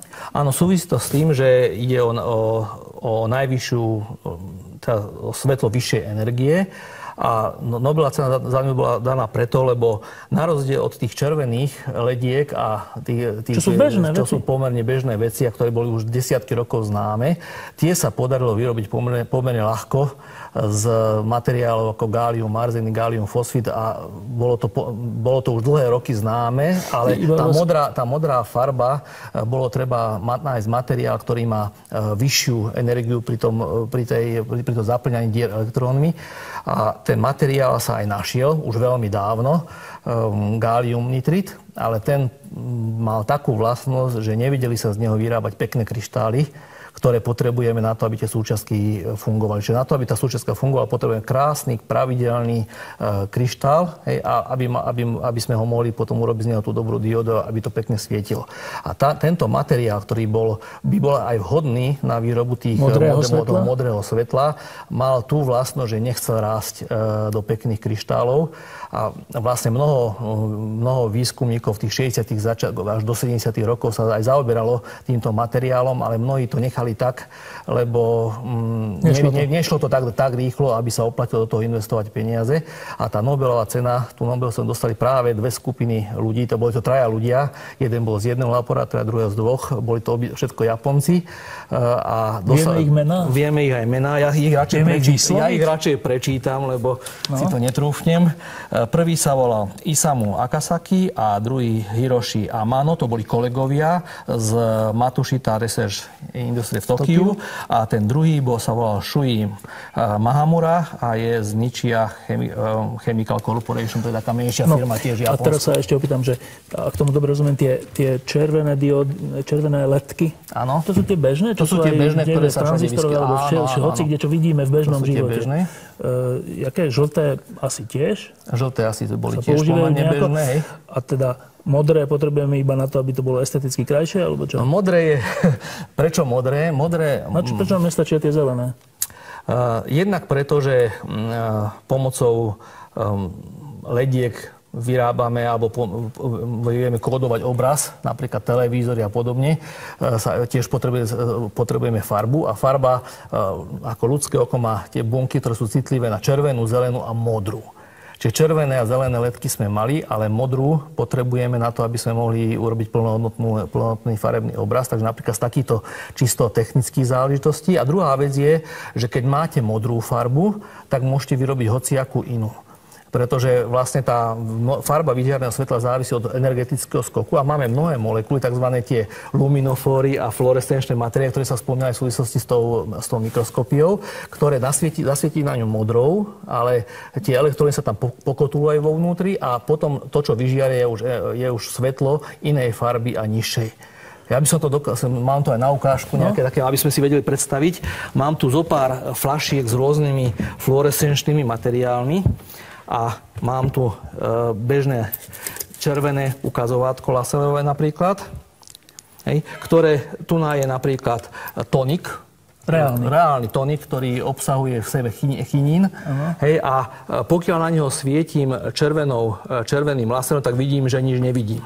Ja Je to červené, prechádza svetlo cez to a nič zaujímavé sa nedieje. Hej, no. lebo, preto, lebo červené svetlo má malú energiu a tie molekuly chinínu nedokáže uh, vybudiť, excitovať, aby vyžiarila, vyžiarila inú farbu. Pokiaľ zoberiem laser inej farby, mám tu napríklad tento modrý, tak zistíme, že zrazu to, tá, tá, tá, to svetlo je také fialové a to, čo z toho... Ale ide taký lúč. Zrazu je taký lúč, pretože to svetlo je absorbované tými molekulami chinínu a on, oni potom vyžiara to svetlo inými smermi, má inú farbu zjavne. Tá, ten laser je úplne fialový a to je také oblohovo modré. Mm-hmm. Máme, môžeme napríklad inú farbu alebo bežné látky, napríklad olej, Hej. Olivový. Olivový olej takisto obsahuje fluorescenčné látky.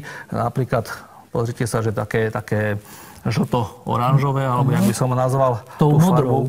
To modrou svietím. Keď svietime červenou? Keď svietim červenou, neuvidím zase nič, pretože červená, červené svetlo má veľmi malú energiu hej, a svetlo prechádza iba Až na ruku. Až na ruku a žiadne nič sa tam vnútri nedieje, lebo tá energia je príliš malá na to, aby excitovala. Dobre, a tým chceme, tým chceme ukázať... Tým chcem ukázať, že pokiaľ... to tretie, ešte to, to tretie? tretie je farbivo, ktoré je také oranžové, ktoré sa používa bežne na šakete ehm, na farbenie materiálov. Tam svieti modrou hej, a to, čo z toho ide von, je taká zelenkavá. A keď svietime červenou, zase nič? Keď svietim červenou, zase nebudem vidieť nič. Červenou svetlo prejde iba na ruku. Dobre, ako a z toho to teda vyplýva, že... Z toho vlastne vyplýva, že, to, že, to modré, tá modrá ledka Tá je... modrá ledka dokáže vyrobiť v podstate aj pomocou modrej dokáže, a takýchto farbí dokážeme vyrobiť hociakú inú farbu. Čiže vlastne mám e, letku, ktorá, ktorá vy, vyžaruje Toto vyslovene... Je Toto je lézrik, e, ktorý, ktorý e, je také modrofialovej farby a keď ho doplním, preto dám filter obsahujúci takéto farbivá, tak dokáže vyrobiť rôzne iné farby a viem urobiť napríklad aj bielu letku. Ja tým ste len demonstrovali, že čo z modrej farby čo viem, modrej viem urobiť. Hej. A preto je dobré mať preto modrú je, preto je dobré mať tú modrú aby... letku, aby sme mohli uh, uh, po, vyrobiť ľubovoľnú A kde to chcem? Čo, čo napríklad tak napríklad žiarovky. Hej. Je, samozrejme ide um, um, ďal, ďal, vec, ktorá je spojená s týmito LED diodami a za čo bola tá Nobelová cena udelená, že práve ten materiál, ktorý oni použili, gallium nitrit, a keď sa konečne ľudia naučili vyrábať uh, veľmi rafinovaným spôsobom tie kryštály, k tomu sa ešte tiež môžeme dostať. Tak je rafinovaný cukor, tak je rafinovaný kryštál. No? tak ide o to, že ten kryštál, tam treba ukladať tie atómy uh, do pek, pekne do vrstiev, aby boli pekne uložené a keďže ten kryštál sám o sebe nie, nie je ochotný rásť takto pekne, tak uh, vlastne sa na to použila metóda metóda, kde sa, um, kde sa trošku aj chemici zapracovali a je to taká chemická metóda, kde sa používajú rôzne také organické kovové zlúčeniny a chemickým procesom dokážeme ukladať jeden atom za druhým pekne po vrstvách a to bola tá metóda, ktorá umožnila vyrobiť aj tento, ten, ten kryštál, kryštál galium a z toho tú modrú letku, čiže bolo tam aj veľa postupov na rast kryštálov. Rozumiem, ale že teda tú modrú letku použijeme na čo potom? A tú modrú letku potom použijeme použijeme, keď už máme, jednak buď ako tretiu farbu do červenej a zelenej na obrazovky veľkoplošné a podobne, alebo ju doplníme o o, o, o filter a získame napríklad bielu, e, bielu ledku ako namiesto žiarovky. Totiž finta je v tom, že tieto ledky majú veľmi vysokú účinnosť premeny elektrickej energie na svetelnú. Keď to mám porovnať napríklad so žiarovkou, tak žiarovka, tá klasická, čo Edison vymyslel, iba asi 4% z tej elektrickej energie, ktorú spotrebuje, Ide premení, na premení na svetlo. 4%. A trošku lepšie na tom boli neonky, tie neonové trubice, kde tiež je vnútri ortuť, ktorá vyžaruje fialové a ultrafialové svetlo a tie luminofóry z toho potom robia iné. Tam sa tá účinnosť pohybuje pod okolo 17-18 a tie najmodernejšie letky, e, ktoré vznikli vďaka objavom, za ktoré bola Nobelová cena, dokážu, dokážu až cez polovicu energie e, pre premeniť vyššia viac ako 50% tej energie vedia dať do svetla. Hej. Čiže to, to znamená, že budeme mať tak, také, že, čo, že účinnejšie žiarovky nakoniec? Áno, nakoniec v konečnom dôsledku, podľa mňa to, čo najviac oslovilo tých e, ľudí, ktorí udelovali Nobelovú cenu, bolo to, že vlastne sa to, to, to hlavné využitie lete, ktoré oni zdôraznili, bolo využitie na osvetlenie kde keďže až tretina, e, no, alebo štvrtina elektrickej energie vyprodukované na svete sa používa na svietenie, a väčšinou žiarovkami, povedzme si to na rovinu, so 4% alebo tak málo percentnou účinnosťou a nahradíte 50%, 50% no, tak vlastne 90% z tej energie na svietenie sa ušetrí, čiže v podstate z tých 20% ostane 2,5, čiže v podstate štvrtinu elektrickej energie, ktorú ľudstvo vyrobí, e, sa môže ušetriť a použiť na iné. A to, to hovoríme o, o čom? O normálne osvetlení v meste? Alebo hovoríme o normálne o svetle, áno, hovoríme o svetlách, osvetlení. Také silné svetlo sa dá urobiť? Áno, dá sa urobiť, to sú veľmi silné, veľmi silné zdroje svetla. Už dneska sa vyrábajú žiarovky, sa dajú kúpiť, že letkové, letkové žiarovky namontujete miesto, miesto normálnej klasickej žiarovky. Drahšie, že? Sú, no ale takto, že samozrejme, keď je to dobré a je o to záujem, tak potom sa vyrábajú tie veci vo veľkých sériách a tie ceny idú dole. Cena dneska také letkové žiarovky už tých bežných sú okolo 3-4 eur, čo je porovnateľné s tými úspornými žiarivkami a podobne. Takže nie je to už také drahé, ako to bolo pred pár rokmi. A um, očakáva sa, že to, to spôsobí naozaj revolúciu v, v, v osvetľovaní.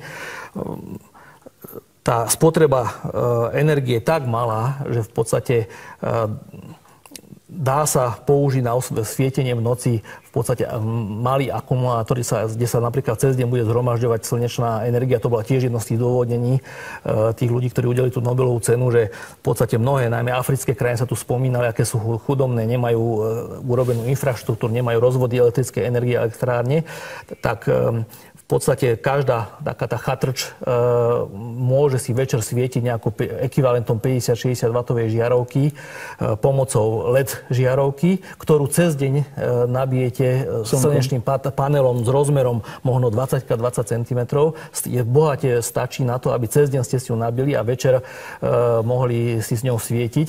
Čo je teda, ako samozrejme sa očakáva, že by to mohlo mať dopad aj kultúrny na, na tie národy, lebo v podstate e, cez deň oni väčšinou sa pracuje a po večeroch, keď už je to má, tak alebo sa ide spať, alebo sa robí e, vec, ktorá ne, ktoré, e, ktoré ne, kde deti nemôžu študovať, nemôžu čítať knižky mm-hmm. a podobne. A, vlastne sa očakáva, že by to mohlo mm-hmm. znamenať aj veľkú, veľ, veľký progres no, v kultúre. A teda ešte raz do tretice, že teda za čo bola udelená Nobelová cena za fyziku? Nobelová cena za fyziku bola udelená za sériu objavov, ktoré umožnili vyrobiť kvalitné kryštály gálium. Čiže za tie kryštály vlastne? Za tie kryštály a k tomu, ale nie len za tie kryštály, ale to bol prvý krok. Druhý krok, vytváranie zložitých tých e, štruktúr polovodičov P a N vrstevnatých, takých, aby, na, aby, tie, aby z toho vznikli letky, ktoré vyžajú modré svetlo a s veľkou účinnosťou. A je to toho hodné, tej Nobelovej ceny? Tak keď ju udeli, tak asi Podľa áno. Vás tak e, samozrejme, čo sa týka hĺbky poznania, sa to s objavom Higgsovho bozónu asi, asi porovnať nedá. Ale keď si zoberiete, že 25% energie e, sa dá očakávať, že najbližšie roko sa ušetrí, že e, rôzne osamotené dediny v málo rozvinutých krajinách zrazu dáte ľuďom možnosť po večeroch čítať knihy tak to môže mať podľa mňa ďaleko siahlý dosah na, na spoločenstvo ľudské. Dobre, no a teraz na záver sa ešte pýtam takú vec, vždy keď máme tie Nobelové ceny, tak sa opýtam tak trocha nejapne, že teda v zmysle, že a čo my, kedy dostaneme nejakú Nobelovú cenu?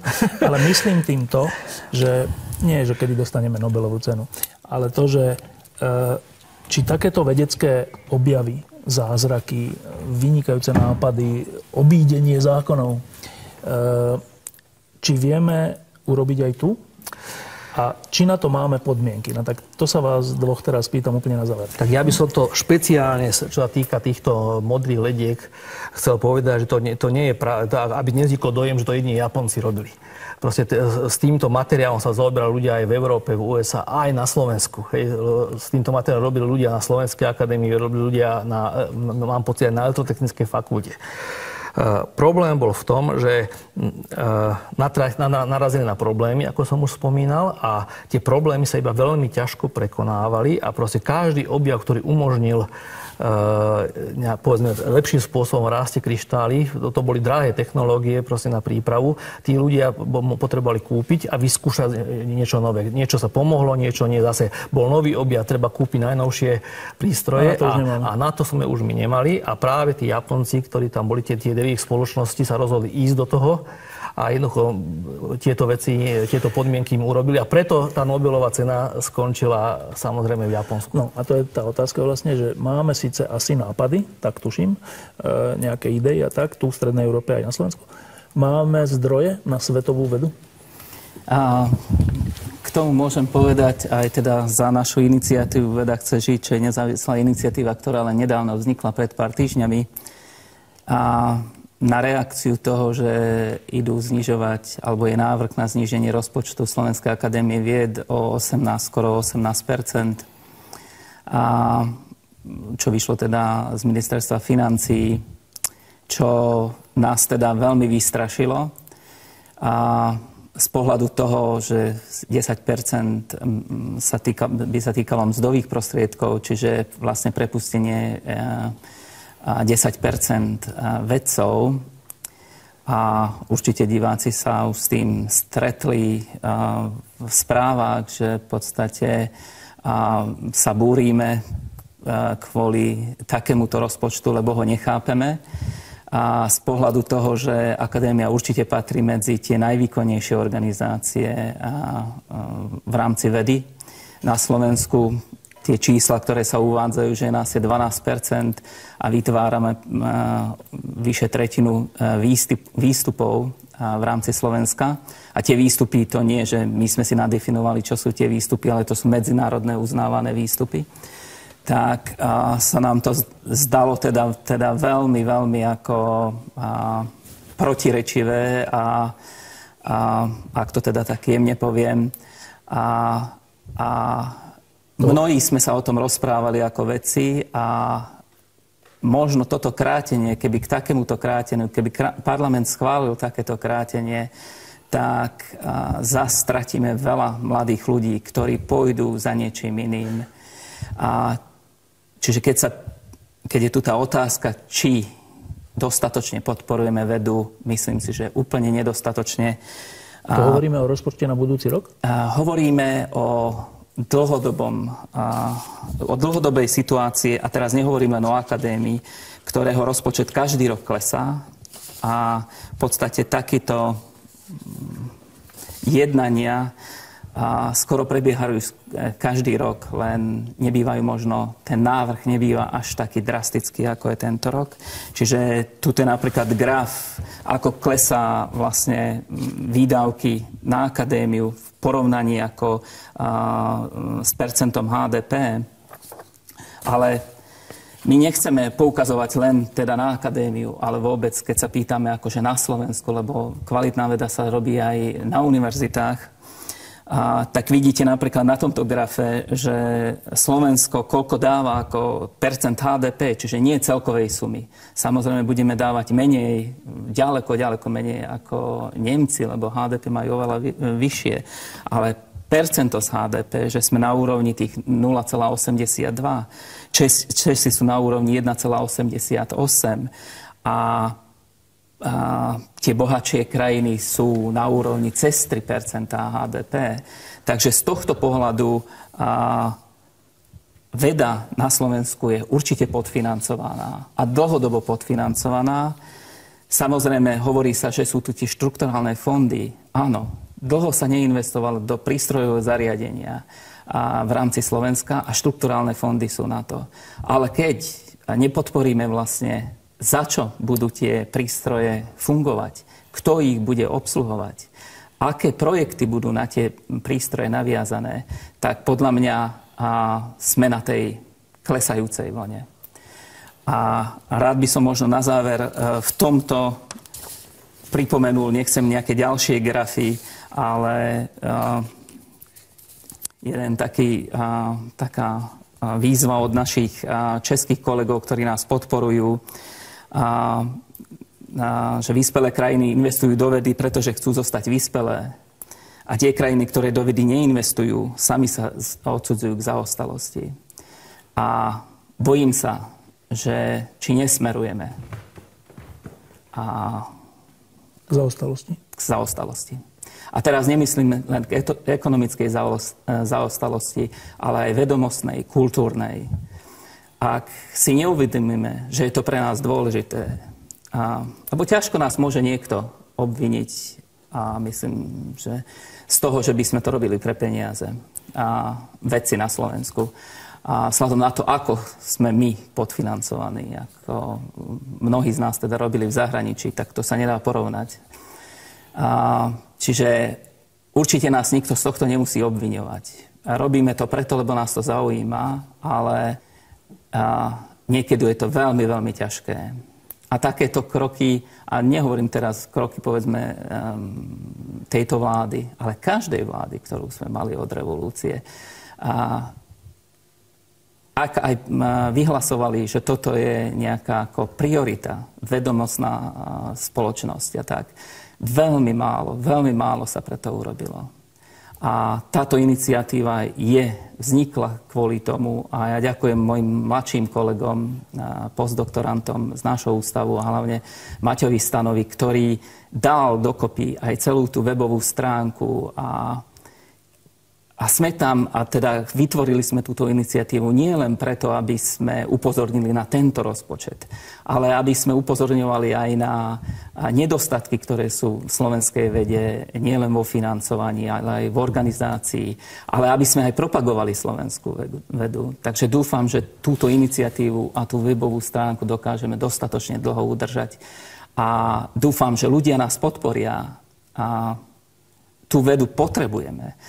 A neviem, ako máme presvedčiť ľudí, že bez tej vedy pôjdeme smerom k tej zaostalosti. E, iba jedno veto, že to už je uzavreté, alebo ešte rokujete? E, nie som v tých štruktúrach, ktorý rokuje, čiže a, môžem povedať len, čo viem, tak a, v princípe bol nejaký ústretový ústretový návrh, ktorý tiež ako jednoduchý veci plne nechápeme, že zoberú nám 10 miliónov eur ako zo, z rozpočtu na budúci rok, čo je kilometr diálnice, povedzme, ale môže to zdecimovať ako tú vedu na akadémii.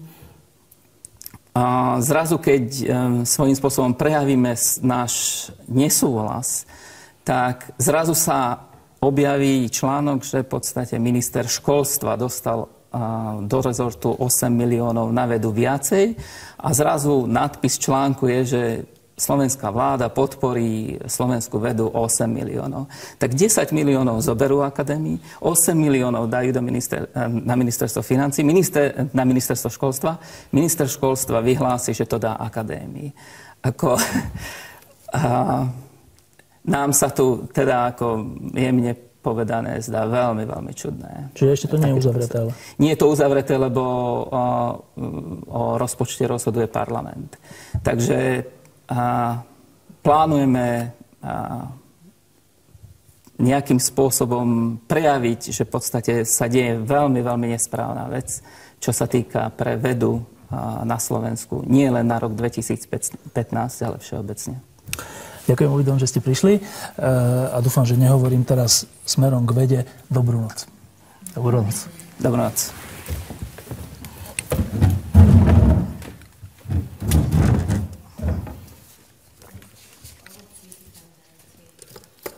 Takto na noc? Ak by ste chceli odznak. To je oficiálny odznak? Tej áno, my sme, si, my sme sa zložili na to, aby sme si to... Uh, a kto všetko tom je? Akože veľa ľudí? A teraz máme na tej webovej stránke podpisov za tie necelé 3, 3 týždne skoro 3000 ľudí. Mm-hmm.